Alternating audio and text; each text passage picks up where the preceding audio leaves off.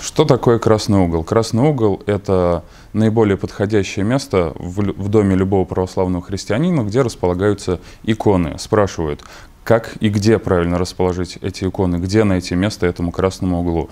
Э, наиболее удобное место будет самым э, простым и тривиальным ответом. Это наиболее удобное и подходящее место. Конечно, это не какой-то темный угол, но обязательно это место, которое видно, которое действительно, на которое ставит то, что сердцу дорого. Как оборудовать иконостас? Оборудовать его обязательно иконами. Спрашивают, какими иконами оборудовать. А, в обязательном порядке каждый православный христианин в своем иконостасе имеет Э, образ Христа Спасителя, обычно это образ Вседержителя, поясное изображение, и в обязательном порядке икону Божией Матери. Далее уже исходится из, и, и, человек исходит из своих вкусов и возможностей. Обычно ставит икону своего святого, которым, именем которого он крещен, наиболее близких ему святых, а, наиболее близких и почитаемых образов икон Божией Матери. О расположении икон, например, в сервантах или книжных полках.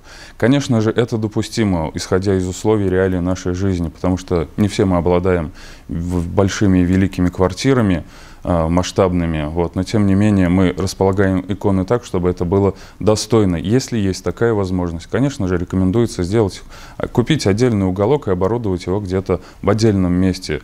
Но если условия таковы, что иного места нет, то это место приводится в порядок, убираются лишние книги, которые а, своим духом не соответствуют православию, и располагаются те нужные иконы, которые необходимы для молитвы и духовной жизни всякого православного христианина.